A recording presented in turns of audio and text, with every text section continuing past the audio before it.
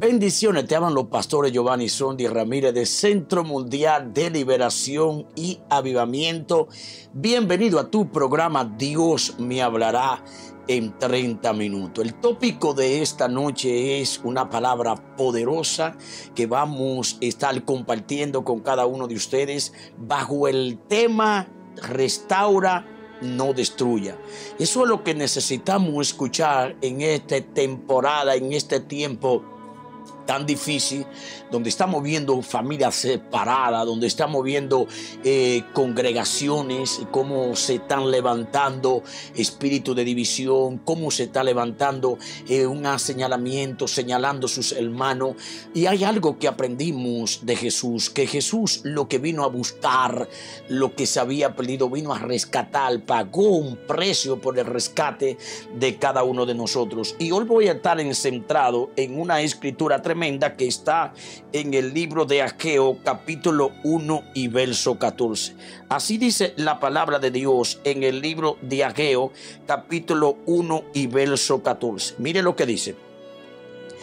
Y despertó Jehová el espíritu de Zorobabel, hijo de Salatiel, gobernador de Judá, y el espíritu de Josué, hijo de Josadac, sumo sacerdote y el espíritu de todo el resto del pueblo.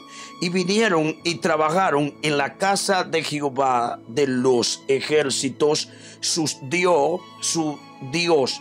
Es tremendo aquí la palabra donde, donde se encuentra Jehová de los ejércitos, su Dios. Y dice en el día 24 del mes sexto, en el segundo año del rey Darío. Es tremendo como alguien que Dios escoge, como alguien que Dios separa, puede contagiar a lo demás con lo que has recibido de Dios. Entonces comencemos eh, reconociendo que somos hijos de Dios. Diga conmigo, yo soy hijo de Dios y que debemos ejercer con sabiduría la autoridad y observamos que Zorobabel es un descendiente de David, antepasado de Jesucristo que recuérdense, aquí estamos hablando en el Antiguo Testamento, no en el Nuevo Testamento. Y por tanto, del linaje real y con el derecho al trono. Cuando vemos la genealogía, que vamos al libro, quiero enseñarle esto rapidito, al libro de, vamos a Mateo 1, por favor. Vamos a Mateo 1, que ustedes son amantes a la palabra como su pastor. Vamos aquí en Mateo 1 para que usted vea lo que vamos a encontrar. Versos 12 y 13, eh, cómo todo está conectado. Dice Mateo 1, verso 12. Después de la deportación a Babilonia, eh, Jeconías engendró a Salatiel y Salatiel a Zorobabel, que de quien yo estoy hablando aquí en esta escritura. Y dice el verso 13, Zorobabel engendró a Biu, a Biu, a Eliakim y Eliakim a Sol. Todo está aquí en la escritura. Entonces, como nosotros somos del linaje real, eh, pues somos hijos de un rey. Entonces, el reino de Dios es un reino de autoridad. Diga conmigo, el reino de Dios es un reino de autoridad y todo reino tiene una estructura. ¿Por qué tiene una estructura? Porque tiene autoridad. Entonces, la autoridad y aún el reino satánico, ellos saben cómo ellos operan, cómo ellos trabajan ese reino satánico. Es fundamental, mire esto, es un fundamento para ser usado por Dios, es estar bajo autoridad. A nosotros los seres humanos nos cuesta estar bajo autoridad. Y yo he aprendido algo a través de la luz de la palabra. Cuando nosotros no estamos bajo autoridad, entonces es porque somos personas rebeldes, somos personas eh, que no queremos someternos a, a, alguien que esté encima de nosotros. Entonces me he dado cuenta que cuanto más nos sometemos, más autoridad ejercemos. Entonces es muy importante eh, aprender esto para luego ejercer bien la autoridad que nos deleguen. El hombre es llamado desde el principio a ejercer autoridad. Diga conmigo, a ejercer autoridad, a ejercer dominio, que fue lo que Dios hizo con el primer hombre creado en el Edén. Ahora, recuerde que la autoridad es para edificar, no para maltratar. Lo repito, la autoridad es para edificar, no para maltratar, no para destruir. Por eso es que necesitamos orar y decirle al Padre qué es el mensaje, cuál es el mensaje, cuál es la escritura, qué es lo que yo tengo que transmitir a un mundo caído, a una generación perversa, a una generación incrédula. Entonces el texto de hoy que hemos leído nos enseña que la autoridad no debe envanecerse por, por su posición, la autoridad más bien hace equipo con los otros para trabajar junto, que fue lo que leímos en el libro de Ageo, que ellos se unieron. Ellos se unieron para que para edificar. Diga conmigo, yo fui llamado para edificar yo fui llamado para que para levantar, no para destruir. Entonces nos encontramos con personas que ellos le encantan destruir. El que destruye la obra de Dios se llama el reino satánico. Ese es el que destruye a su hermano, el reino satánico. El que divide es el reino satánico y el que une es el reino de la luz. Entonces procuremos participar activamente en el plan de Dios. El plan de Dios es la restauración de su creación. Por eso le puse al tópico restaura, no destruya. Pastor, pero se están levantando en mi contra. Pastor, ¿qué hago con esta persona? Que yo la trato bien, pero siempre está ahí como que está lleno de maldad en mi contra. Está para destruirme. Ora por esa persona. Da rodillas por esa persona. Pídele al Padre misericordia. Porque usted y yo aquí no estamos para destruir. Estamos para qué? Para unificar. Entonces el plan de redención es un plan de restauración. El plan de redención es un plan de restauración, pues aún la misma tierra será restaurada según la luz de la palabra. Entonces Dios no ha enviado a restaurar a la humanidad y tu papel es restaurar no destruir. Y cuando vamos aquí, donde estábamos en el libro de Ageo, es interesante lo que dice el verso 2 y, el capítulo 2 y el verso 4 dice, pues ahora ver esfuérzate, dice Jehová, mira por favor esto, dice Jehová, esfuérzate también Josué. Esto no es Josué el que andaba con Moisés, lo que pasa es que los nombres se parecen, hijo de Josadá. Está viendo, el otro Josué es hijo de Nun, este Josué, hijo de Josadac, sumo sacerdote, y cobra ánimo, mire esto por favor aquí, y cobra ánimo pueblo todo de la tierra, dice Jehová, y trabaja porque yo estoy con vosotros, dice Jehová de los ejércitos. Entonces, muchas veces vemos personas desanimadas y nunca se pueden levantar del desánimo. Muchas veces vemos personas frustradas, personas con doble ánimo y ellos no pueden vencer la frustración, no pueden vencer el desánimo, no pueden vencer el doble ánimo porque no se conectan con alguien que esté conectado a la fuente, con alguien que esté animado, con alguien que fue edificado, con alguien que fue estructurado y transformado por la palabra de Dios, alguien que fue restituido.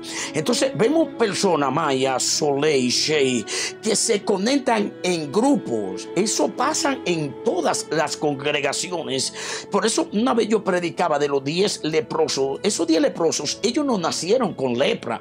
Ellos no nacieron juntos los diez leprosos, pero ellos se conectaron porque cada uno con la condición que portaba, con la condición que tenía, ellos se conectaron. Por eso yo decía en ese mensaje, nunca lo olvido, que en la licor store, afuera, ustedes ven todos los hombres, todos los borrachos que ellos se conectan uno con otro como estaban los leprosos. Los leprosos representan el pecado de la hora. Los pecadores están con pecadores. Por eso que nos ven a nosotros congregados, que fuimos restaurados, fuimos restituidos. Porque alguien que fue restaurado, que fue restituido, que fue levantado por Jesús y limpiado por Jesús, entonces puede limpiar a otro. Entonces, del espíritu que había en este hombre, le decía, cobra ánimo. Entonces él iba a transferir, él iba a impartir lo que él tenía. Por eso si tú te conectas con un empresario, tú vas a ser empresario. Si tú te conectas con alguien que no peca, usted va a dejar el pecado.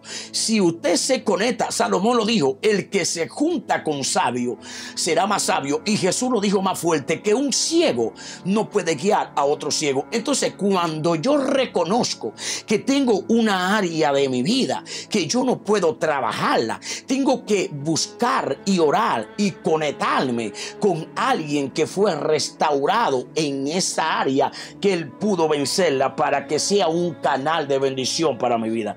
Entonces, ¿qué es lo que está hablando esta palabra? Procuremos pues no lastimar con frase, con gesto, con acciones a quienes nos rodean porque van a aparecer gente se van a levantar en nuestra contra a Jesús se le levantaron toda la gente, aún lo de la casa, lo de su familia, no creían en Jesús. Entonces Dios es poderoso para restaurar lo que ha sido destruido. Entonces Dios usó a Zorobabel para dirigir la primera reparación y volver del cautiverio de Babilonia y restaurar el templo, pero él no podía restaurarlo solo, tenía que trabajar en equipo.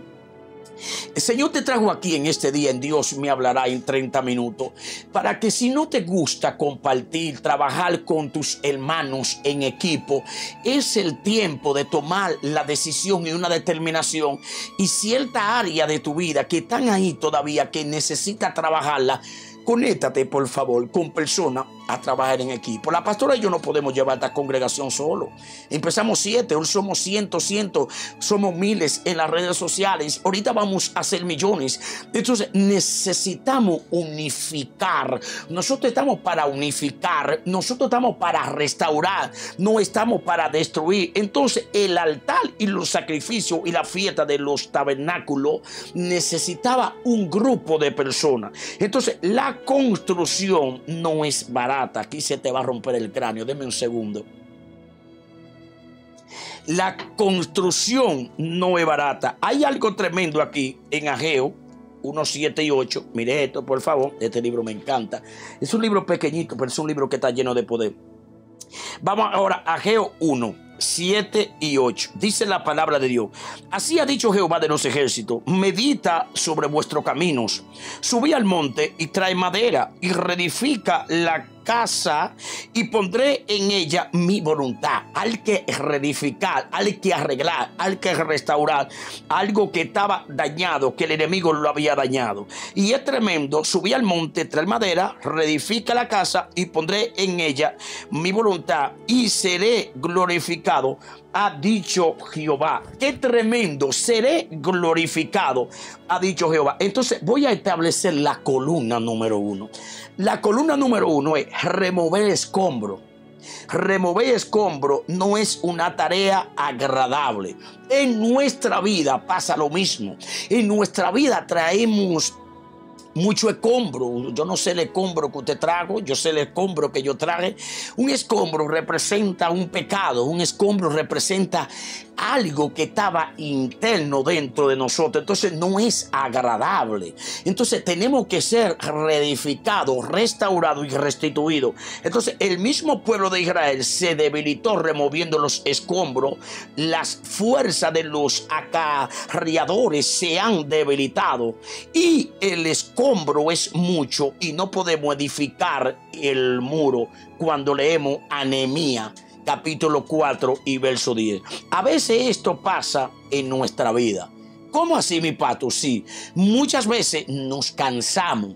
Wow, pero ayuno, oro, intercedo, busco a Dios, pero todavía no he podido sacar este escombro. Esta noche te va a identificar con esta bendita palabra. Por eso es que tiene que compartir con miles. No coma solo, por favor. Que no te digan lo come solo. Comparte, comparte, comparte con familiares, comparte con amigos, que va a ser una gran bendición. Entonces, la columna número dos es un comienzo de los cimientos. Esto es tremendo desde abajo. Es agradable ver el edificio terminado e ir de compra para que amueblar tu casa. Pero cuando vemos que va la furnitura, eh, eh, qué furnitura más bonita, eh, mira la casa, los baños, cómo está, mira la sala, cómo quedó, las habitaciones, cómo quedaron, el jacuzzi que tiene. Pero fueron desde los cimientos que empezaron a trabajar, sacando tierra, sacando tierra. Mira que ves más bonito. Si tuviste un Belma bonito, pero tú no imagina la tierra que tuvieron que sacar de ese basement, los escombros que tuvieron que quitar. Porque todo lo que tú ves bonito en un tiempo no era bonito. La vida que está jamás en Delebrosele, la vida que está viendo edificada, reedificada y construida en nosotros, esa no era nuestra vida. Lo que tú ves, bonito hoy tiene que ir al origen de un ayer. Esa está buena para una frase. Lo que tú pudieran equipo anotarlo ahí lo que usted ve bonito tiene que ir a ver el principio de un ayer, como era.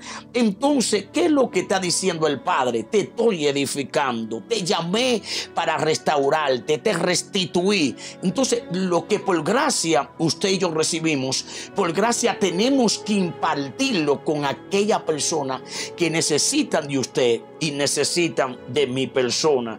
Así como fue reparada esa casa, fue construida esa casa que vino desde los cimientos de, de abajo. Ahora, columna número 3, superar la oposición eterna e interna, samaritanos, amonitas y aún de los mismos judíos, habían bulas, calumnias, mentiras incredulidad, desánimo y fatiga.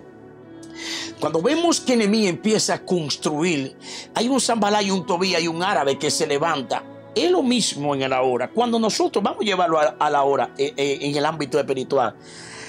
Cuando usted y yo empezamos a, buscar a Jesús, que nacimos de nuevo, personas se burlaron de ti, pero mira, se volvió un fanático, mira qué fanatismo es eso, mira que de, de la religión, que tú te convertiste ahora, que después que tú hiciste tal pecado, que te embriagaba, que tú hiciste de todo allá afuera, que ahora viene a buscar a Jesús. Dice, sí, es verdad, tú, tú tienes la contesta sin lastimarlo, usted tiene la respuesta sin lastimar el individuo que lo está acusando, a un alguien de tu propia sangre que se levanta decir, él vino a buscar, no, él no vino a buscar eh, persona sana, Jesús vino a buscar persona enferma. Y yo estaba enfermo, pero yo no te vi que tú estabas enfermo del cuerpo, no, estaba enfermo espiritualmente. Entonces, cada vez que vamos a ser edificados, que vamos a ser construidos de nuevo, esta gente se van a levantar, se van, de mí se burlaron muchos, pero gente que aún se burlaron en el pasado, estoy siendo un instrumento para ello. O sea, no te desanimes porque alguien se está burlando de ti, porque alguien te está calumniando. Ahora, recuerda y consciente de tu elección y propósito. Porque mi pastor, mira aquí mismo donde estamos, el libro de Ageo, vamos a Ageo 2.23, es fácil, mire, mire, mire esto por favor. 2.23, lo que dice, dice, en aquel día, dice Jehová de los ejércitos, te tomaré, oh Zorobabel, hijo de Salatiel, siervo mío, mira cómo le llama, siervo mío, porque fue escogido por Dios. Dice Jehová, y te pondré como anillo de sellar. Esto es impresionante, te pondré como anillo de sellar, porque yo te escogí, dice Jehová de los ejércitos. O sea, que más. Gracias, Señor. Te doy la gracia, te doy la honra, te doy la honra.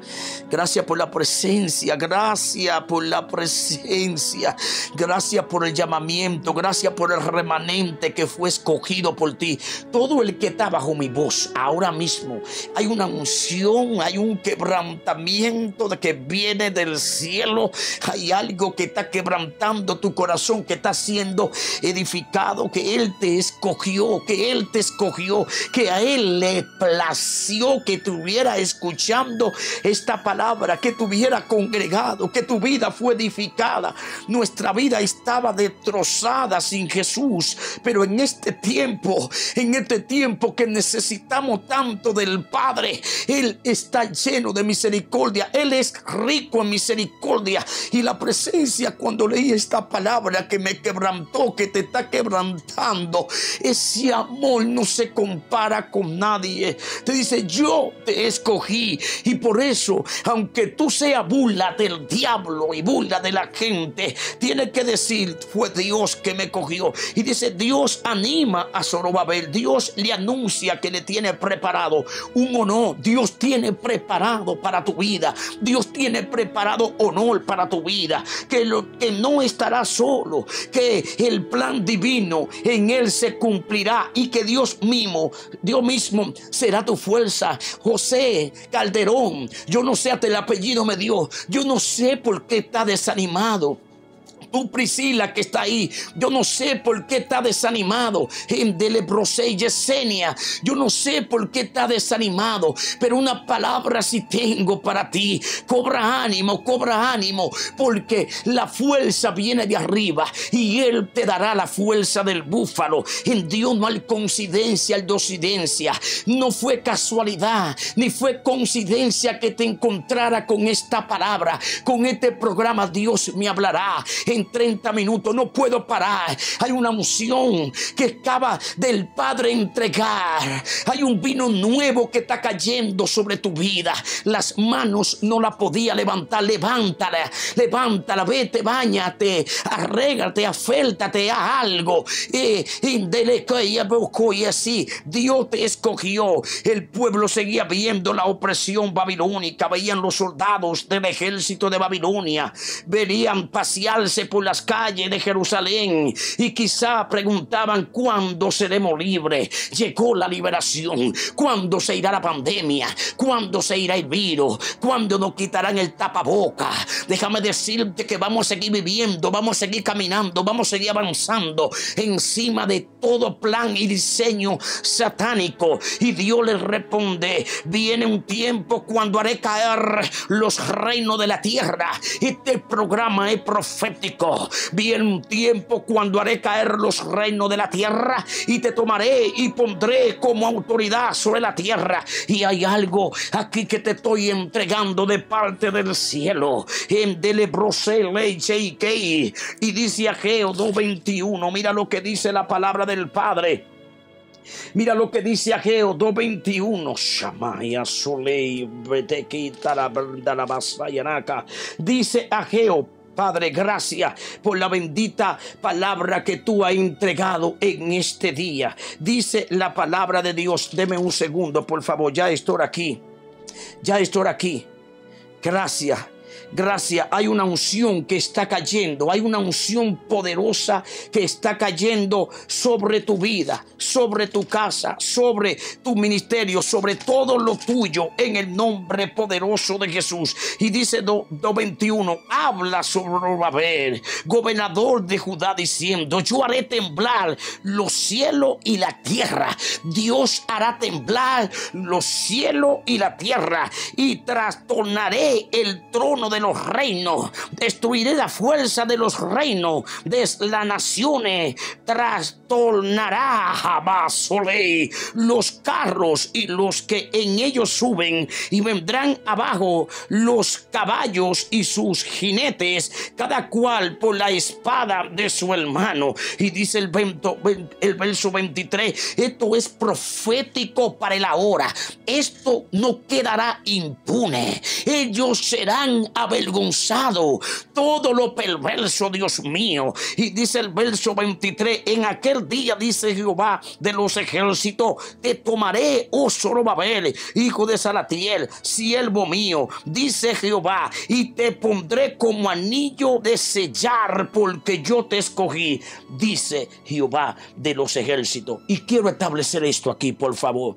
Quiero establecer, este programa fue diferente a todos los programas, porque me gusta enseñar, pero me tomó el Espíritu de Dios. La palabra escogido significa separado. Diga conmigo en voz alta tres veces, yo fui escogido y separado. Yo fui escogido y fui separado. Yo fui escogido y fui separado. Usted fue seleccionado. Usted fue calificado, elegido, entresacado, agradable. Implica que usted y yo no somos un abortivo en esta tierra. Aunque la gente diga lo que diga, aunque la gente te desprecie, usted y yo somos agradables, somos un propósito delante de los ojos de Dios. Y dice, yo te escogí, dice Jehová de los ejércitos. Esto nos permite concluir que somos un propósito de Dios según el Salmo 139. Amaya.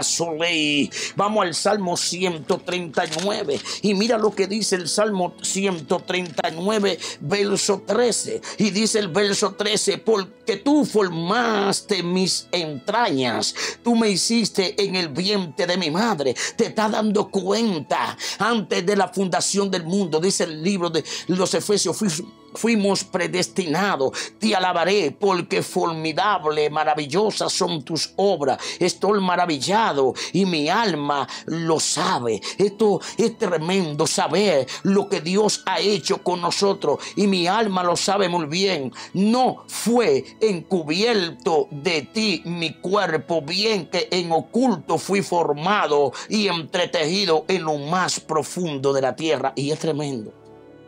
Te voy a leer hasta el verso 16. Y cuando dice el salmista, yo hablaba de esto también. Mi embrión vieron tus ojos y en tu libro estaban escritas todas aquellas cosas que fueron luego formadas sin faltar una de ellas. O sea, en poca palabra, Dios mío, gracias por tu presencia. Tu vida se corresponde con un plan diseñado por Dios y fuiste seleccionado. Diga conmigo, yo fui seleccionado por el dueño del universo y te ha comisionado para el gran plan y él te llamó porque cree que puede hacerlo con su ayuda.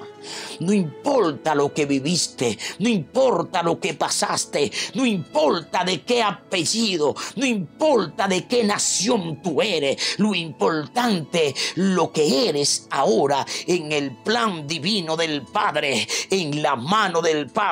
Zorobabel significa en Babilonia, salido de Babilonia. Él nació en el cautiverio, pero Dios lo liberó y lo convirtió en un instrumento para restauración de miles y miles de personas. Tú fuiste el plan y el propósito de Dios. Tú eres Moisés de tu casa. Tú eres Jeremías de tu casa. Tú eres José de tu casa. Tú eres Josué de tu casa. Tú fuiste el Pablo de tu casa. Tú fuiste el Pedro de tu casa. Tú fuiste la Estela Yael de tu casa, Dios mío. Tú fuiste la Débora de tu casa. Tú fuiste el Daniel de tu casa. Tú fuiste el Abraham de tu casa. Tú fuiste el elegido por Dios. Por eso tiene guerra tiene batalla, tiene situaciones para poder seguir hacia adelante. Pero esta palabra, este programa vino en este día para decirte y desafiarte que tú eres lo que Dios dice que eres, que tú eres el tesoro que porta jamás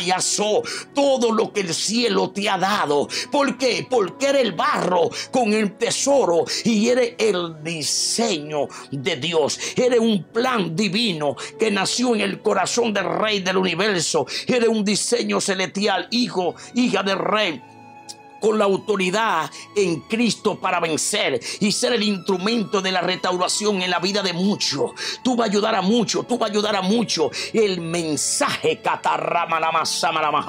el mensaje de Dios hoy es esfuérzate, cobra ánimo porque te tomaré, te usaré poderosamente porque yo te escogí, dice Jehová de los ejércitos, Dios mío. Hay una gloria venidera, hay una gloria que está cayendo, hay una gloria que se está desatando. Va a empezar a hablar con palabra, con denuedo, con palabra, con certeza, con seguridad, con una convicción como nunca antes, porque hubo un despertar en este día, en este tu programa. Dios me hablará en 30 minutos. Tu diseño es restaurar, tu diseño no es dañar. Tu diseño es darle la mano a aquella gente que necesitan de ti. Tu diseño es perdonar. Tu diseño es amar. Tu diseño, amar, de lebrosija y en de y Tu diseño es amar. Tu diseño es estar lleno de bondad, estar lleno de paciencia y estar lleno de misericordia. Y así te digo, en este día, en Dios te hablará en 30 minutos. La unción está sobre mí, está sobre ti. Yo oro para que lo que recibiste hoy no sea parte de tu vida y permanezca para siempre. El Rey de Gloria te ama. Comparte con personas que necesitan escuchar este bendito mensaje. En tu programa Dios me hablará en 30 minutos. No importa dónde está. No importa lo que sucedió y pasó. De lo que tú tienes, de lo que tú portas, tú vas a impartir aquello que necesitan de ti. Tú eres el puente para que otros pasen al otro lado. Dios te guarde, Dios te bendiga. Vayadito.